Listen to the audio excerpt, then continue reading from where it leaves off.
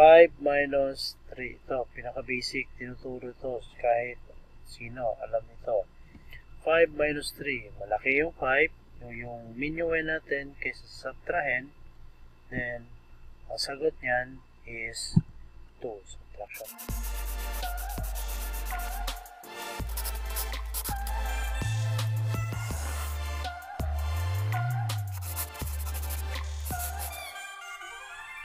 Okay, good day sa lahat. Um, welcome again sa ating video or welcome again sa ating tutorial para sa mathematics. Okay, ngayon, turo ko kung paano mag-subtract ng integers. Okay, subtracting integers. Naituro ko na kung paano mag-add ng integers. Ngayon naman, ituturo ko kung paano mag-subtract ng. Tingnan nyo lang yung sa uh, description sa baba yung link kung paano mag-add ng integers. Okay? Welcome to Pamati tutorial. Now, subtracting integers by Pamati tutorial. Okay. Bago yan, alamin muna natin kung ano ang positive numbers okay? At ano yung negative numbers? Positive numbers meron tayo dito. Positive 5 meron tayo positive 5 na may sign siya na positive. Okay? Dali lang malaman na positive numbers yan. Meron din tayo positive 16 kapag ang numbers wala namang sign example 9 hindi natin makikita yung sign ng positive o kahit yung sign ng negative. Kapag ito lang directly ito ay positive numbers okay? So wala tayong makita dito ang positive sign o negative sign okay? Directly yung number na yan is positive. Meron din tayo dito ang positive 16 sa negative numbers naman lahat ng negative numbers ay dapat mayroong negative sign. Okay? Negative 16, negative 4, negative 32, negative 3. Lahat ng negative numbers ay dapat mayroong talagang negative sign. Kung wala, kung wala siyang negative sign, then that number is positive numbers. Now, kung pala tayo sa rules, paano ba mag-add ay mag-subtract ng integers. Okay, subtraction tayo ngayon. So, dyan na. So, paano ba mag-subtract ng integers?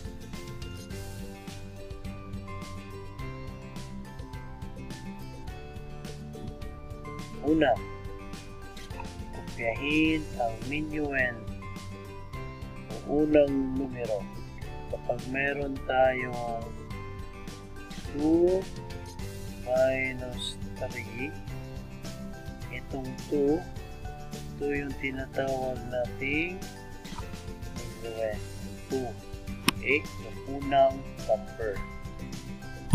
Pangalawa i-change ang operation sa addition. Okay operation natin kapag subtraction minus, i-change ito sa addition. Okay, magiging plus. Pangatlo, i-change ang subtrahend sa kanyang opposite sign o additive inverse. Okay, kapag meron tayong 2 minus 3 itong 3, ito yung tinatawag nating subtrahend. Okay? Then, opposite sign. Kung positive siya, magiging negative. Kung negative siya, magiging positive. Okay? That is additive inverse. Okay. Apat, i-apply ang rules ng addition of integers. Okay, kung paano ba mag-add ng integers. Okay, apply natin yun. Turo ko na, kung uh, nakapanood na kayo kung paano mag-add ng integers, alam nyo na, then i-apply natin yun, yung rules. Okay, naituro ko na yun. Then, dito na tayo. Example. Um, subtract the following numbers. Meron tayo number 1. 5 minus 3. Ito, pinaka-basic, tinuturo to kahit sino, alam ito. 5 minus 3. Malaki yung 5. Yung, yung minuend natin kaysa subtrahen. Then, ang sagot niyan is 2. Subtraction lang. Okay? X number 2. 3 minus 5. Ito naman, maliit yung minuend natin kaysa sa ating subtrahen. Maliit. Okay? Mas maliit ang minuend. Yung iba sinasabi cannot be. Pero integers naman tayo, integers tayo, i-subtract natin yan. Okay? 5 minus 3 is 2. Tapos, since maliit yung minuend, malaki ang subtrahend, then directly, ang sagot natin dyan is negative 2. Okay? Pa-apply lang yun kung maliit ang minuend, mas malaki ang subtrahend. Number 3, meron tayong 20 minus 11. Okay? Mas malaki ang minuend kaysa subtrahend. Therefore, subtract directly, ang sagot niya is 9. Okay, ito, number 4. 9 minus negative 4 is equal to ito, dito natin i-apply yung rules natin sa subtracting integers, sa subtraction of integers. Yung una, kopyahin ang minuend. Yan. 9. Tara tayo dito 9. Then, kinopya. Next, pangalawa, i-change ang operation sa addition. Ito yun, addition. Operation natin is subtraction, magiging addition. Plus. Tapos, i-change ang subtrahend sa kanyang opposite sign. Ito yung subtrahend natin. Negative 4. Ano ba ang opposite ng negative 4? Positive 4. Okay? Pangapat, i-apply ang rules ng addition. 9 plus 4 is equal to 13. Okay, therefore, 9 minus negative 4, ang sagot is 13. Okay, ganun lang. Kasi simple, mag-subtract lang. Okay, example tayo, number 5. Negative 9 minus negative 4. Una, kopyahin uh, minuend, negative 9. I-change ang operation na minus sa plus. Tapos, ang opposite ng subtrahend, negative 4 ito, magiging positive 4. Okay, rules ng addition. Kapag magkaiba ang sign, kailangan natin silang i-subtract. 9 minus 4 is 5. Tapos, mas malaki ang 9 kaysa 4. Ang sign is negative.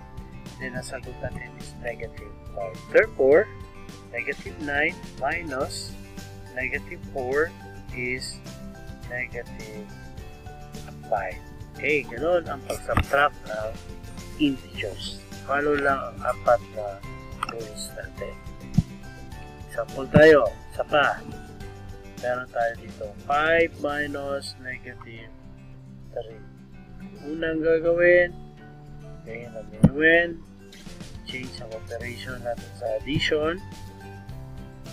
Ang subtract natin ang kanyang opposite, So, additive inverse which is positive 3. Apply natin yung rules ng integers. 5 plus 3 is equal to 8.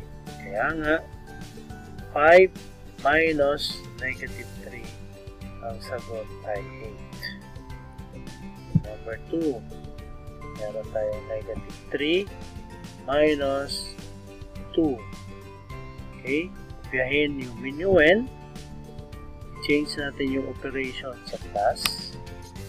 Tapos, meron tayo dito positive 2. Opposite ng positive 2 is negative 2. Tapos niyan, apply ang rules ng addition. Pareho yung sign. i-add natin sila, which is 5. Then pareho silang negative, kaya ang sagot natin negative 5. Therefore, negative 3 minus 2 is negative 5. Okay? 3. Meron tayo negative 68 minus negative 53. Ang unang gagawin, gahin ang minuend. Change ang operation sa plus. Ang additive inverse ng subtrahen natin na negative 53 magiging positive 53. Apply ang rules ng integers uh, how to add. Magkaiba ang sign. Ito positive, ito naman negative. Subtract. Okay? 68 minus 53 is 15. Tapos, mas malaki ang 68 kaysa sa 53. Ang sign ng 68 is negative. Kaya meron tayo negative 50. Therefore, negative 68 minus negative 53 is negative 15. Okay, pangapat. Meron tayo 99 minus 285.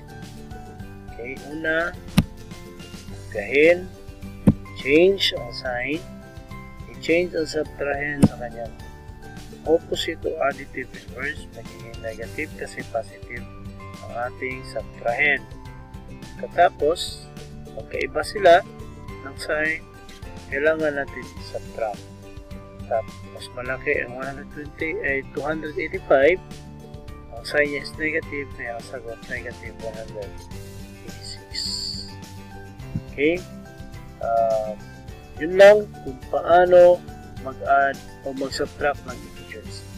Una, kopyahin ang minuend o unang numbers, i-change ang operation sa addition, i-change ang subtrahen sa kanyang opposite or additive inverse, then i-apply ang rules ng addition of integers. Dali lang, tandaan lang natin yung rules o steps kung paano mag-subtract ng integers. Okay, maraming salamat sa panonood. Thank you for watching Pamati tutorial. Okay, maraming salamat po. And do not forget to like, subscribe, and share this video sa mga gusto mga taong gusto nyo pong mala, ma, matuto kung paano mag-subtract ng integers. Sa baba, nandun rin ang link kung paano mag-add, mag-multiply, mag-add ng integers. Okay, maraming salamat po sa panunood sa Pamati Tutorial.